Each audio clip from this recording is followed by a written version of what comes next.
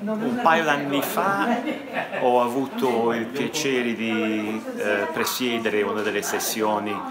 della conferenza a San Marino dell'Organizzazione Mondiale del Turismo eh, in cui si è pubblicizzato la cifra del ehm, mancato guadagno del turismo mondiale per via dell'inaccessibilità dei luoghi del turismo. E ovviamente non solo alcuni luoghi ma si tratta anche dell'intera catena. Uh, e questo mancato guadagno si stima in 800 miliardi all'anno,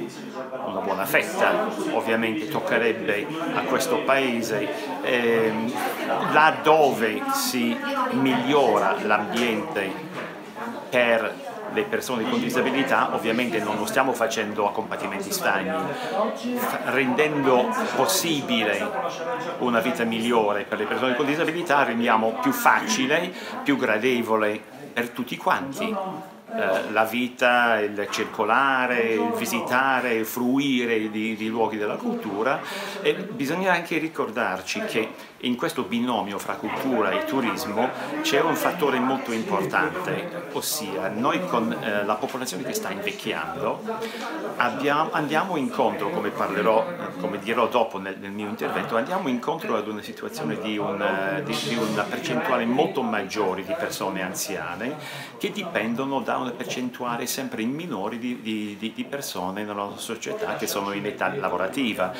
Queste persone dovranno pagare le tasse per pagare le pensioni dovranno fornire le assistenze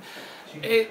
ovviamente ad un certo punto il quadro comincia a scricchiolare. Allora dobbiamo utilizzare la finestra di opportunità che abbiamo adesso per rendere più utilizzabile, più facilmente utilizzabile, accessibile l'ambiente artificiale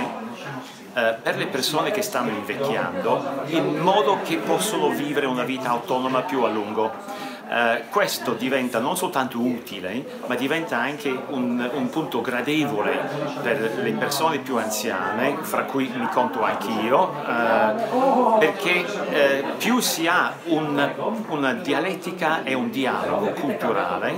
e più c'è una probabilità di un mantenimento di uno stato di soddisfazione e di contentezza nella vita e meno incide ehm, l'arrivo po' l'avanzarsi di, di, de, degli acciacchi, del, del, delle difficoltà eh, della vecchiaia che derivano in grande parte anche semplicemente dal, dal, dalla scontentezza. Ovviamente poi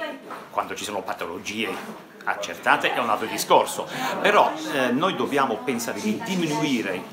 coscientemente la spesa sanitaria che deriva unicamente dal, ehm, da, dal, dal, dal, fattore isolamento, dal fattore eh,